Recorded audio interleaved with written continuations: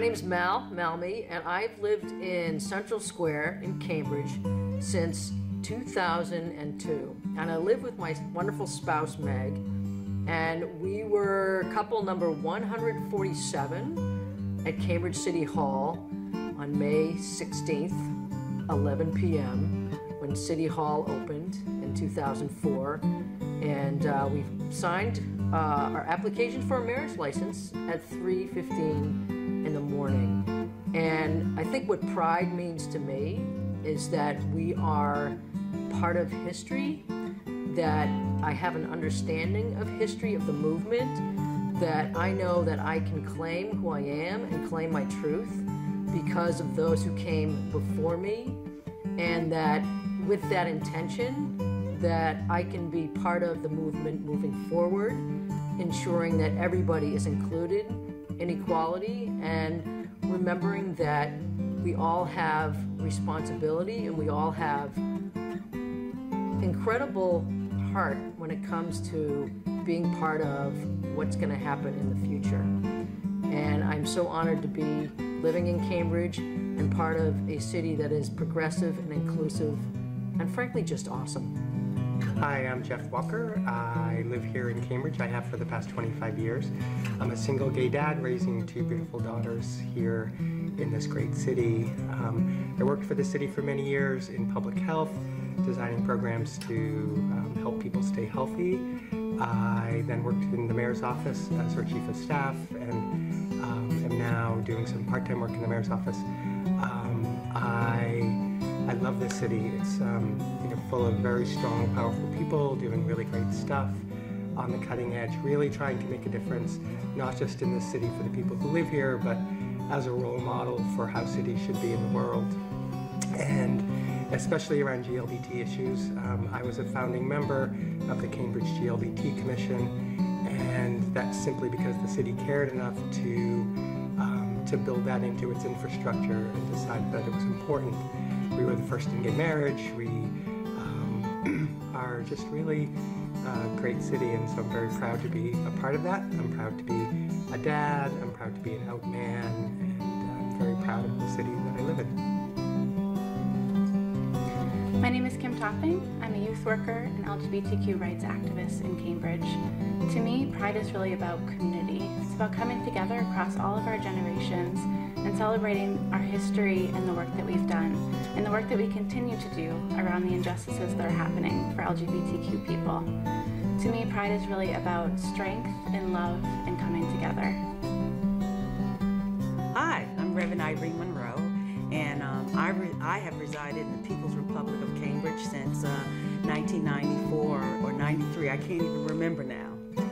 So, what does pride mean to me? Well, Pride is about the varied expressions of the life, gifts, and talents of the entire LGBT community. At its core, Pride events are an invitation for community. They should highlight the multicultural aspect of joy and celebration that symbolizes not only our uniqueness as individuals and communities, but also affirm our varied expressions of LGBTQ life in America.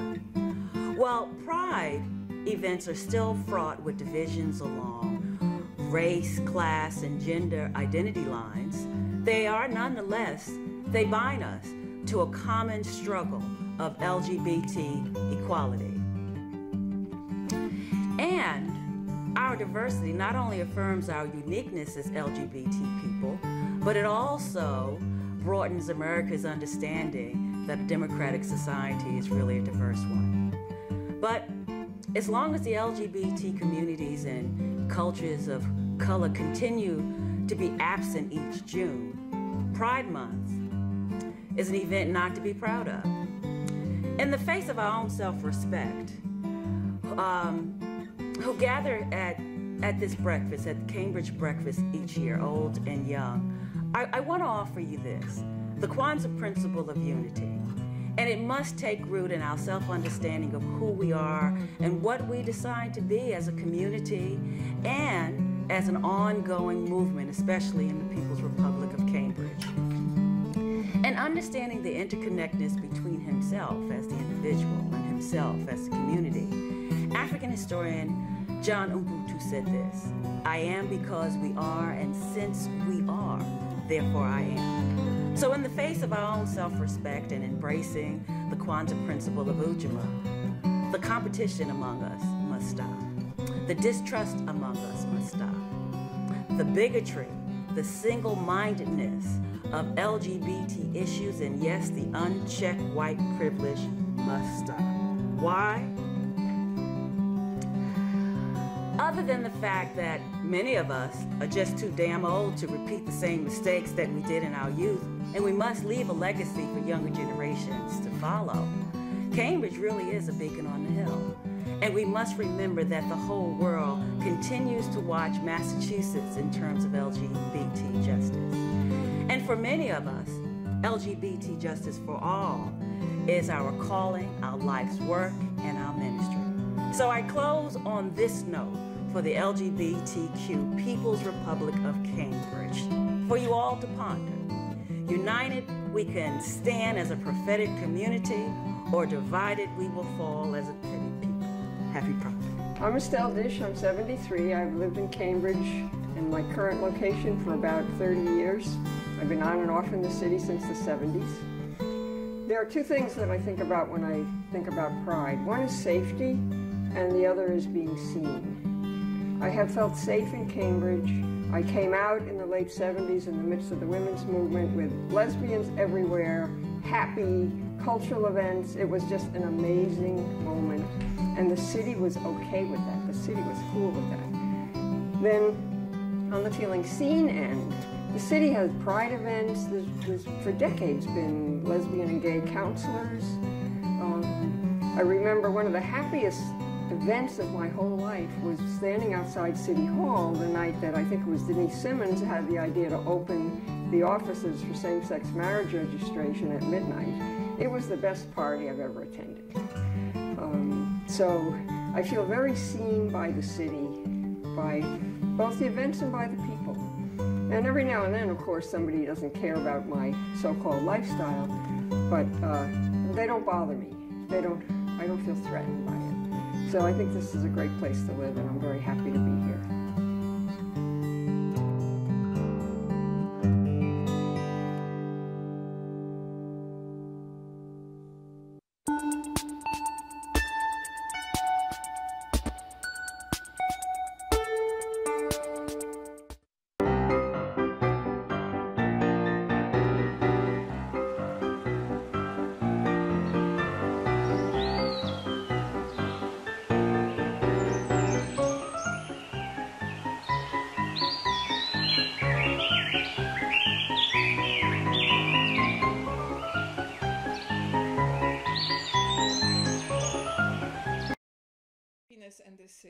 This is Barbara, and today I wanted us to focus on a very important matter that, um, uh, if properly understood, can resolve a lot of conflicts. There's a lot of discussion today about so called hate speech. But this term actually linguistically is inappropriate because hate refers to emotions, whereas speech refers to reason, logos. So there's interaction between emotions and logos. Um, the uh, history of political philosophy is rich in books who discuss those topics. And somehow today, this very important distinction between emotions and logos, logic, reason, has been lost. And many people have been trying to apply matters of emotions onto the language, the logos, that expresses reason. And you cannot discuss the conflict if you apply emotions to what is logical reasoning, or vice versa, when you apply logical reasoning, logos, to emotions. I have this uh, word here in French, amour, and that means love. And when I um, use the word love as logos, realm, it is just a word identifying a particular emotion linguistically. When I feel love in my heart, or you feel love in your hearts, that refers to emotion that resides within the faculty of our life, which is called soul, emotions. Though I believe that emotions also um, are in our mind because God says, Love. Um, love God with all your heart, with all your mind, and all your soul. So, uh, the matters of love, emotions, refer to our hearts, our souls, and our minds. And as many of you know, the soul resides in the spirit, and that is life. Spirit is spirit of life. So, when we are looking today at conversations around social media, we see that there is lack of understanding about those two aspects of expression emotional and linguistic. Emotional, referring to emotions that reside within us, and linguistic, to logical explanations, descriptions, uh, reference, and all of those amazing things that we find in dictionaries and great literature. Uh, I wanted us to focus on the word pathos. And here uh, we have in um, Wikipedia that I encourage you to support. It's an amazing um, resource for knowledge, amazing group of people running it. And here we have definition of pathos. Um, it is from Greek pathia, pathos for suffering, pathetic for path, uh, appeals to the emotions of the audience and elicits feelings that already reside in them. So we have a situation that we understand that the sender has emotions and the audience has emotions. And if the sender, the orator, the producer, the speaker talks to the audience emotionally and the members of the audience don't have certain particular emotions re- already residing in them, there is disconnect. And when we talk about logos, it's sufficient to speak the language and have ability to reason.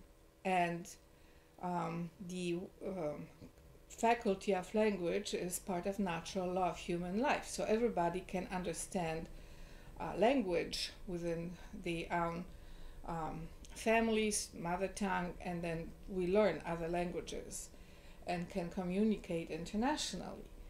So here's a very important difference that we have to understand. Because if a speaker talks to members of the audience about something and those people uh, can understand what he says, but the speaker uh, really doesn't want to appeal to the reason and explain things and reason things, but wants to appeal to the emotions. But if a particular emotion is not there, nothing will happen. And then the speaker gets furious and wants to ban the audience, and that is inappropriate.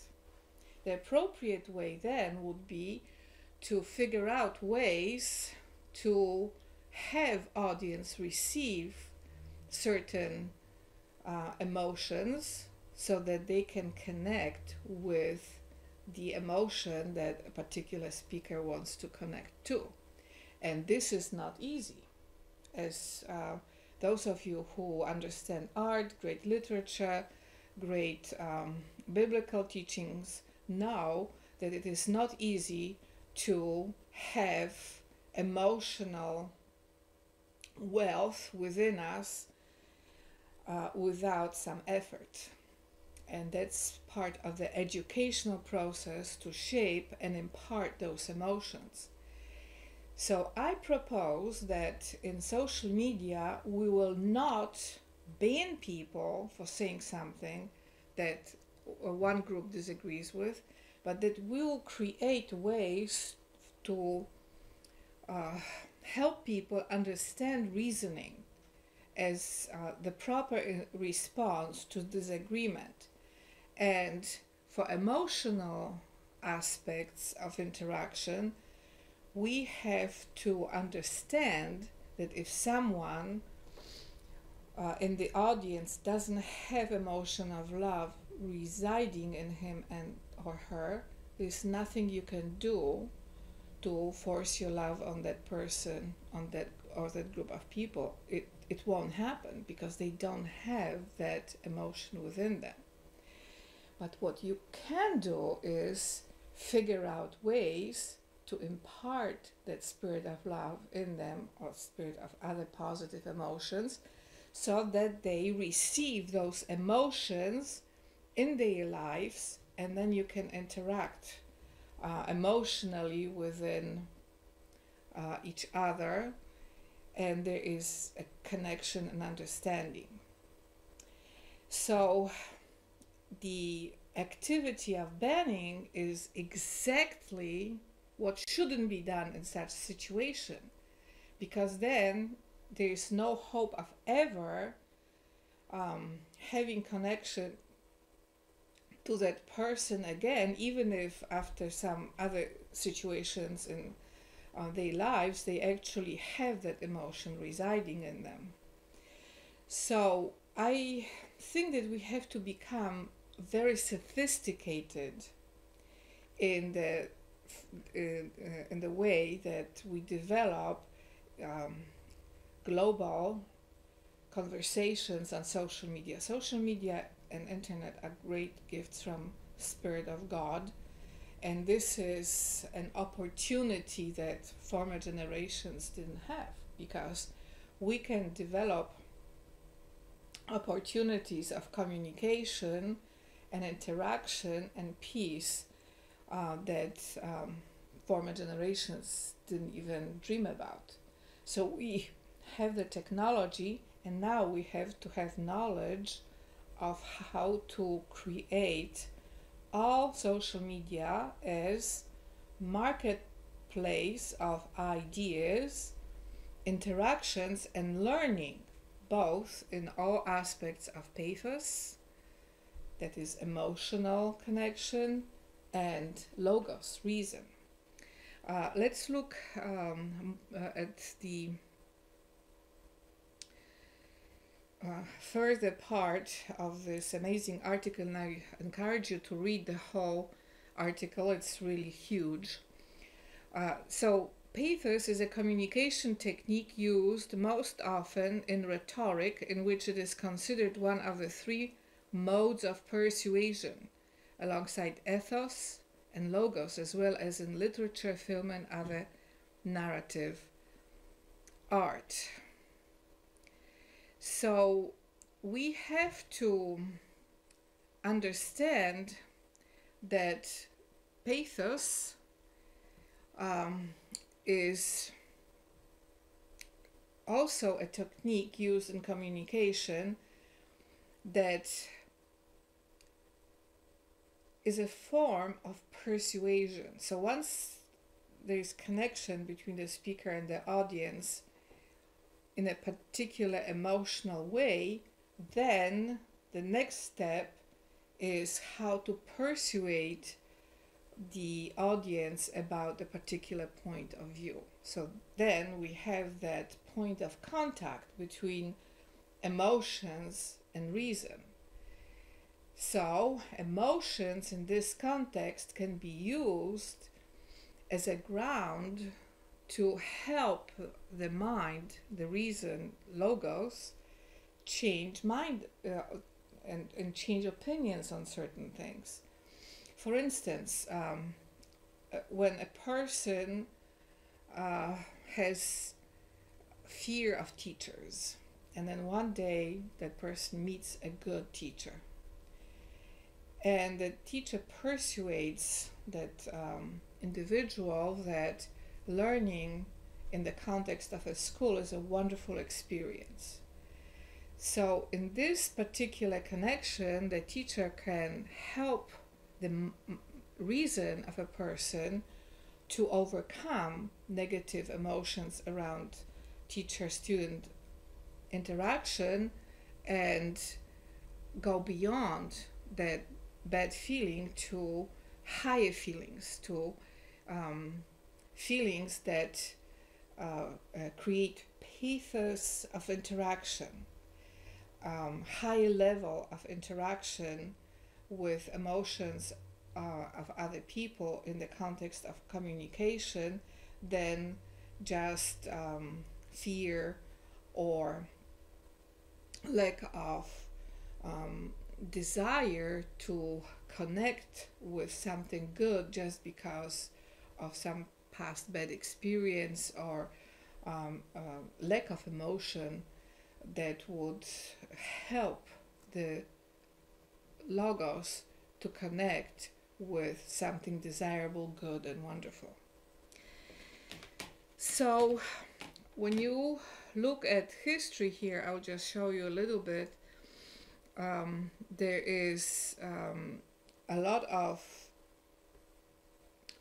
uh, talk about pathos in ancient literature, Aristotle, um, other Hellenistic philosophers. Of course, there's the entire um, situation with um, biblical teachings about emotions, then the interaction of emotion is expanded to include kingdom of God, divine um, speaker who has capacity to impart right emotions to the audience, and then the audience can connect with the divine in ways that are elevating and that also expands cap- capabilities of reason to grasp um, the uh, realities of life here and in kingdom of god there's a very famous philosopher thomas aquinas that um, is one of the um, few people who Roman Catholic Church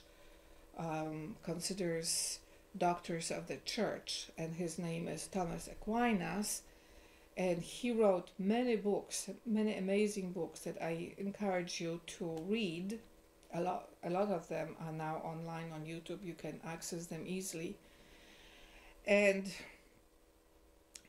Thomas Aquinas, at some point in his life, had vision of kingdom of God and God's um, logos and after this he couldn't write anything because he thought that uh, whatever his capabilities were at that time couldn't express the multidimensionality of that understanding. And uh, he just wrote, wrote that everything that he had written before was just straw and never wrote anything afterwards, but became a silent and quiet inspiration for people um, uh, in his times, he, he inspired me to do um, many amazing things intellectually.